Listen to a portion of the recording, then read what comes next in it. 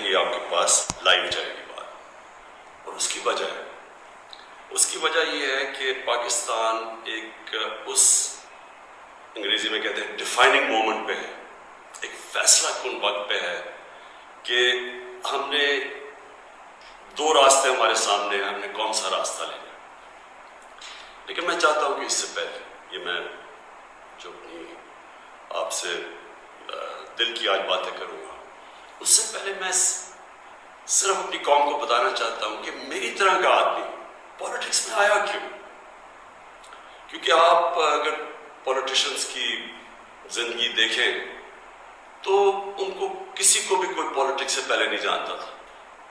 उनकी उनकी कोई आ, बड़े कम ऐसे लोग हैं जिन जिन्होंने ज़िंदगी में कोई चीज़ अचीव भी किया कायद आज़म मोहम्मद अली जनाब बहुत बड़े उन्होंने वो ऐसे थे कि सारे हिंदुस्तान के अंदर वो सबसे बड़े वकील समझे जाते थे। तो एक वो यानी उनकी हैसियत थी पॉलिटिक्स पे आने से पहले। लेकिन आप ज़्यादातर लोगों को देखें तो पॉलिटिक्स में तो से पहले कोई उनका नाम भी नहीं जानता था। तो मैं तो वो एक खुशकिस्मत इंसान अल्लाह का ख़ास शुक्र अदा करता हूँ कि मुझे तो उसने सब कुछ दे दिया था। यानी कोई शायद ही किसी को इतनी शोहरत मिले जितना मेरी ज़िंदगी में ज़रूरत थी उतना पैसा मेरे पास था। आ, सब कुछ था मेरे पास। यानी आज भी मुझे कोई किसी चीज़ की ज़रूरत नहीं है। अल्लाह मुझे सब कुछ दे दे बैठा और मैं उसका बड़ा शुक्रगुजार हूँ। देखिए मैं पाकिस्तान की पहली जनरेशन था। हम वो जनरेशन थे जो पहले आज़ाद पाकिस्तान में पैदा हुए थे। पाकिस्तान मेरे से सिर्फ़ पाँच साल बड़ा तो मेरे माँ बाप जो थे, मैं बार बार लोगों को बताता हूँ, वो एक गुलामी के दौर में पैदा हुए थे। वो अंग्रेज़ के दौर में पैदा हुए थे। और मैं जब तक बड़ा होता रहा, क्योंकि उन्होंने पाकिस्तान मूवमेंट में शिरकत की थी, वो मुझे हमेशा ये एहसास दिलवाते थे कि तुम बड़े खुशकिस्मत हो, आज़ाद मुल्क में पैदा हो। तुम्हें नहीं पता कि जो भी आप कर लें, गुलामी क्या होती है? क्योंकि एक सत्ता से ऊपर आप जा ही नहीं सकते। क्योंकि उसके ऊपर आपके हुक्मरान बैठे हुए थे। तो एक बड़ा एक जो भी खुददार लोग थे, उनको बड़ा बुरा लगता था, ये जो अंग्रेज़ की गुलामी थी। तो हम हम हम बड़े हुए, मेरे बहन और बहने और मैं, हम, हमें याद है कि बचपन से ही बताया गया। तो जो ये खुददारी है ना ये एक आज़ाद कौम की निशानी होती और जब मैंने पॉलिटिक्स शुरू किया, मैं आपको बताऊँ, पॉलिटिक्स में क्यों आया था? मैं इस, इसलिए आया कि मैं एक तो पॉलिटिक्स का स्टूडेंट था यूनिवर्सिटीज़ में मैंने पॉलिटिक्स पढ़ी हुई थी, पाकिस्तान की और दुनिया की पॉलिटिक्स के ऊपर मुझे पता था, तारीख का पता था। मैं इस नतीजे पे आया कि हमारा मुल्क कभी भी वो मुल्क बन नहीं सकता जो ख्वाब थी इलामा इकबाल की। और जो कायद आज़म जैसा लीडर, यानी जिस तरह उन्होंने जद्दोजहद की इस ख्वाब के लिए कि पता था कि उन्होंने ज़िंदा नहीं, ज़्यादा देर रहना, और अगर आप उनकी तारीख पढ़ेंगे जिस तरह वो, उन्होंने केस लड़ा पाकिस्तान का, बीमारी के हालात में तो ये हमारे ये फाउंडिंग फादर्स थे। तो जो पाकिस्तान का मकसद था, वो तो एक बड़ा अजीम मकसद था कि हमने एक इस्लामी फलाई रियासत बनना था। ये हमारी करारदाद पाकिस्तान में ये लिखा हुआ है हमारे फाउंडिंग फादर्स का कि हमने एक, जब हम कहते हैं इस्लामी फलाई रियासत तो ये सीधा चला जाता है मदीना की रियासत में। क्योंकि हमेशा मुसलमान उसको मॉडल समझता है जो सुनहरी दौर इस्लाम का है, वो मदीना की रियासत थी। तो जब मैंने 25 साल पहले पॉलिटिक्स शुरू की तो तीन मैंने अपनी जो हमारे मैनिफेस्टो थे उसमें तीन चीज़ें रखी। इंसाफ और इंसाफ फिर मैं क्वालिफाई कर दूँ। इंसाफ होता यह है कि ताकतवर और कमज़ोर के लिए एक कानून होता है।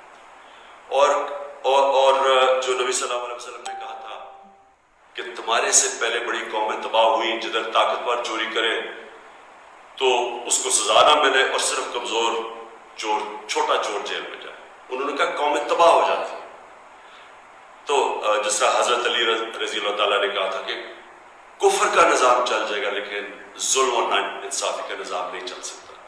तो ये बेसिस है एक मोड इंसाफ, और दूसरा इंसानियत, रहम होता है एक इस्लामी रियासत में, जो कि मदीना की रियासत में पहली फलाई रियासत बनाई गई थी, जो मैं बार बार लोगों को कहता हूँ। तो ये मेरे दो एम्स थे। और तीसरा था खुदारी। एक मुसलमान कौम गुलाम कौम नहीं बन सकती। जिस कौम का नारा था, पाकिस्तान का मतलब क्या? लाइला इल्ला लाइला इल्ला का तो मतलब ही है कि स्वाय अल्लाह के आप किसी के सामने नहीं झुकते वो शिरक है।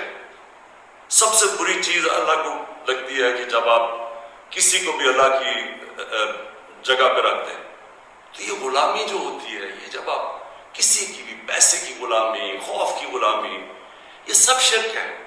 क्योंकि लाइला इंसान को आज़ाद करता है। ये तीन थे मेरे आज से 25 साल पहले। आप देखें कि मैं मैनिफेस्टो ये तीन चीज़ें लिखी मुझे लोग कहते हैं, इमरान साहब, आप इस्लाम का नाम इस्तेमाल करते हैं। मैं अगर इस्लाम, अगर मेरे में अल्लाह ईमान ना डालता, मैं पॉलिटिक्स में क्यों आता? जिस आदमी के पास सब कुछ है, मुझे ये बताए, वो अपनी ज़िंदगी के 22 साल खर्च करेगा, एक स्ट्रगल में और 14 साल तो थोड़े से लोगों के साथ था। 14 साल तो मज़ाक उड़ता था मेरा। तो मैं क्यों पॉलिटिक्स पे इतनी देर कोशिश की, जिसके पास सब कुछ था? मुझे इतने लोगों ने कहा कि इमरान साहब, आपको ज़रूरत क्या थी पॉलिटिक्स की? मैं सच आपको बता रहा हूँ बार बार मुझे लोग कहते आपको पॉलिटिक्स में आने की ज़रूरत थी? यानी सिर्फ़ आपको ज़रूरत ही हो तो आप पॉलिटिक्स में आए। आप कोई नज़रिए के लिए ना आए, कोई आपकी बड़ी एम्बिशन ना हो। एक मैं अपने सारे जो, और ख़ास तौर पे मेरे, मैं चाहता हूँ मेरे जो नौजवान है, वो आज मेरा बड़ा गौर से सुने जो मैंने आपसे बात करनी है।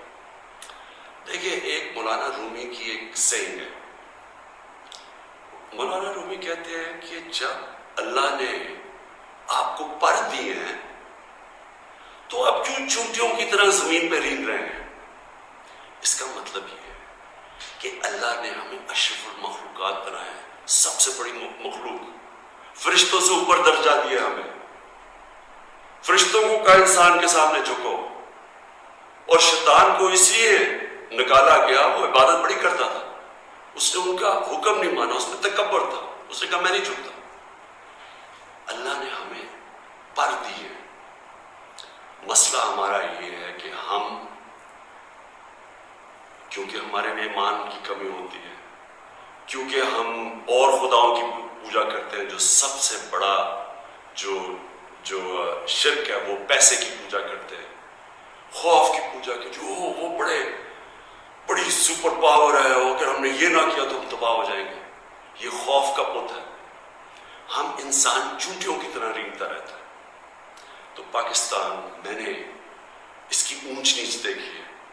हमने शुरू में, हम छोटे थे, हमें याद है, जब पाकिस्तान एक तेज़ी से ऊपर जा रहा था। हमारी मिसालें दी जाती थी। मैं जब स्कूल में था, पाकिस्तान की मिसाल दी जाती थी। साउथ कोरिया, पाकिस्तान आया था। सीखने के लिए कि कैसे आगे बढ़ा। मलेशिया के शहजादे मेरे साथ स्कूल में पढ़ते थे, यहाँ सीखने आते थे। सारा मिडल ईस्ट से लोग यहाँ पाकिस्तान की यूनिवर्सिटीज में आते थे। हम ऊपर जा रहे थे। हमारा मॉडल लोग देखते थे। मिसाल दी जाती थी। मैंने इसको नीचे आते देखा। और मैंने इसको जलील होते देखा अपने मुल्क और मैं उसके ऊपर अभी आता हूँ क्योंकि जो मेरे वालिद थे, मुझे याद है अपने आखिरी दिनों में, जो हमारे ऊपर ये वॉर ऑन टेरर के अंदर जिस तरह की पाकिस्तानियों को जिल्लत मिली पाकिस्तान पाकिस्तानियों को मैं ख़ास तौर पे कह रहा हूँ, लेकिन ओवरऑल इस्लामोफोबिया भी था, लेकिन पाकिस्तानी को जिल्लत मिली। तो मैं जो आज आपसे बात करना चाहता हूँ, कि देखिए, अल्लाह ने जो हमारे अंदर इतनी सलाहियतें दी हैं अशरफ उसकी अजीम मखलूक पे। लेकिन उसे कंडीशन लगाई हुई है। उसने कहा है कि तुमने अगर ऊपर उड़ना है ना, जो इकबाल ने अपना शाहीन का कॉन्सेप्ट दिया कि शाहीन कैसे इकबाल का, वो तब ऊपर जाता है जब वो रेजिस्टेंस के सामने खड़ा होता है, जब वो मुकाबला करता है, जब वो अपने आप को मुश्किल वक्त से गुजारता है। हम नमाज़ में सिर्फ़ एक ही चीज़ मांगते हैं जब पाँच वक्त की नमाज़ पढ़ते कि अल्लाह उनके रास्ते पे लगा, जिनको नेमते बख्शे, उनके नहीं जो अपने तबाही के रास्ते पे चले गए। तो जो नेमते बख्शे वो नबी वसल्लम अल्लाह के हबीब थे, सबसे ज़्यादा तो उनको नेमते बख्शे। उनका आसान रास्ता नहीं था, लेकिन उनकी अजमत का रास्ता था। मैं इसलिए पाकिस्तान के अंदर सीरत नबी अपने बच्चों को पढ़ाना चाहता हूँ। क्यों नबी की सीरत पढ़े? क्योंकि वो दुनिया की तारीख में सबसे अजीम इंसान वो थे। तो उनके रास्ते पे अल्लाह क्यों हमें कहते चलो? क्योंकि वो अजमत का इंसान का रास्ता है। हम पकड़ लेते दूसरा रास्ता, जो हम समझते हैं कि बड़ा आसान रास्ता है। अच्छा जी, वो फलाना ने हुक्म दे दिया, और हम तबाह हो जाएँगे। अगर उसने वो वो फलाना मुल्क नाराज़ हो गया तो हमारा ये हो जाएगा। हम रींग रहे हैं ज़मीन के ऊपर। हम चूंटियों की तरह रींग रहे हैं। तो मैं सबसे पहले कि जब मैंने 25 साल पॉलिटिक्स शुरू की तो मैंने कभी आप मेरी कोई स्टेटमेंट पढ़ लें मैंने हमेशा एक चीज़ कही, ना मैं कभी किसी के सामने झुकूँगा और ना अपनी कौम को किसी के सामने झुकने दूँगा। यानी अपनी कौम को किसी की गुलामी नहीं करने दूँगा।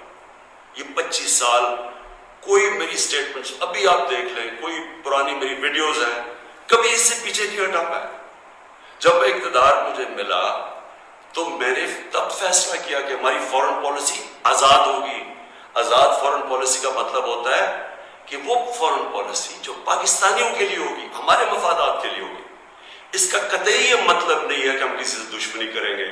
हम किसी को के खिलाफ होंगे, हम कोई एंटी अमेरिकन होंगे या एंटी इंडिया होगा या एंटी यूरोपियन होंगे। मैंने तो मैं तो सबसे पहले, मैं वो पाकिस्तानी हूँ। सबसे ज़्यादा हिंदुस्तान के अंदर जो जानते थे और जो रिस्पेक्ट और मेरी दोस्तियाँ थी, वो मैं पाकिस्तानी था। क्रिकेट की वजह से। मैं अमेरिका को बड़ी अच्छी तरह जानता हूँ उनके पॉलिटिशियन उनके लोगों को जानता हूँ। इंग्लैंड को तो आप इस तरह के मेरा दूसरा घर था एक बार तो मैं तो जानता हूँ। मैंने कभी ये नहीं, कभी किसी भी इंसानी माशरे, मैं कभी उसके खिलाफ हो ही नहीं सकता। हाँ हम उनके अंदर जो उनकी गलत पॉलिसीज़ है, उसकी मैं तनकीद करता हूँ। मैंने जब पाकिस्तान ने शिरकत की वॉर ऑन टेरर में यानी जब जनरल मुशरफ हमें अमेरिका की जंग में लेके गए, मैं उस मीटिंग में था, मैं इस कमरे में था, इसी कमरे के अंदर सारे पॉलिटिक पॉलिटिशियंस बैठे हुए थे, जिसके अंदर हेड्स ऑफ़ पार्टीज़ बुलाए थे, जिस तरह बाकी भी थे, मैं भी था। इसी कमरे के अंदर हमें कहा गया कि जी, ओ, अगर हमने अमेरिका की हिमायत ना की तो अंग्रेज़ी का लफ्ज वुंडेड बेयर की तरह है, एक जख्मी रीछ की तरह है। वो हमें भी, हम ना, हमें ना, उससे भी शायद हमें ना मार मीडिया पे, पार्लियामेंट में हर जगह मैंने कहा कि हमारा उस जंग से कोई लेना देना नहीं था। नौ ग्यारह में कोई पाकिस्तानी मुलवस नहीं था। हमें क्या ज़रूरत है कि हम अपने मुल्क को किसी की जंग में ले जाएँ? हम उनकी मदद करें। अगर उन्होंने उनके मुल्क में दहशत गर्दी हुई है, हम दहशत गर्दी के खिलाफ है उनकी मदद करनी चाहिए। लेकिन क्या इसका मतलब ये कि हम पाकिस्तानियों को कुर्बान कर दें किसी की जंग में? और फिर हमने गलती क्या की? सबसे बड़ी जंग मुशरफ ने गलती की। अस्सी की दिहाई में हमने पाकिस्तान फ्रंट लाइन स्टेट बन गया जी कि हम अमेरिका के हमायती हैं, हम उसके एलाए हैं। हम सोवियत यूनियन के खिलाफ जहाद लड़ रहे हैं और सारी जहाद पाकिस्तान के कबायली इलाके से लड़ी गई। और तो बाहर से लोग हमने बुलाए और हमने उनको ट्रेन किया और यहाँ से मुजाहिदीन ग्रुप्स गए। हमने उनकी पूरी हमायत की, उनको बताया कि फॉरन ऑक्यूपेशन क्योंकि हम इसलिए लड़ रहे हैं कि अफ़गानिस्तान के ऊपर फॉरन ऑक्यूपेशन है, इसलिए हम लड़ रहे हैं जहाद। और सारे हमें बताया गया कि कितना बड़ा पाकिस्तान बड़ा रोल प्ले कर रहा है। जैसे ही वो जहाद खत्म होती है सोवियत यूनियन हारता है, अमेरिका यहाँ से चला जाता है सोवियत यूनियन उधर चला जाता है, और दो साल के बाद वही अमेरिका जो हमारा दोस्त था, जिसके लिए जो हम इकट्ठे जंग लड़ रहे थे, वो हमारे ऊपर सैंक्शन लगा देता है। प्रेस्टर प्रेस्टर सैंक्शन नौ ग्यारह आ जाता है। पाकिस्तान की फिर अमेरिका ज़रूरत पड़ जाती है। ये जो अभी मैंने आपको कहा कि इसी कमरे के अंदर फैसला हो रहा है कि जी हम अमेरिका की आ, हमें हमायत करनी चाहिए। हमने कहा कि हाँ ठीक है हमायत यहाँ तक ठीक है कि दहशत हम सारे दहशत गर्दी के खिलाफ हैं उनके खिलाफ एक्शन ले। लेकिन जो हमायत हमने की जो पाकिस्तानियों की जानों की कुर्बानी दी गई किसी और अमेरिका के एलआई ने इस तरह की कुर्बानी